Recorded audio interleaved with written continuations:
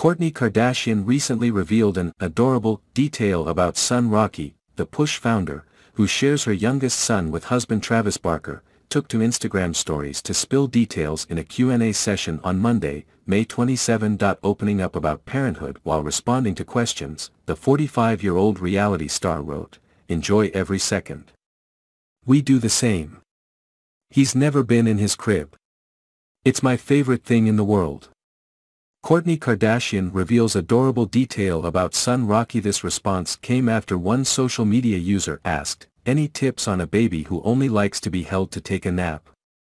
New mama here, while responding to a wave of questions on the social media giant, the Kardashian star also offered an insight into her in vitro fertilization, IVF, journey. Point one follower asked, had six failed IVFs, how did you find the strength to keep going?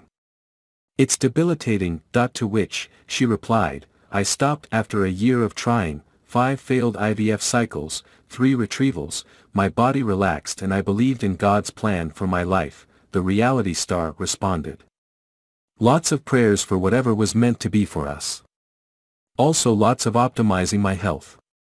I know how hard it is to feel like you're not trying, but believing in God's plan and saying your prayers is so powerful.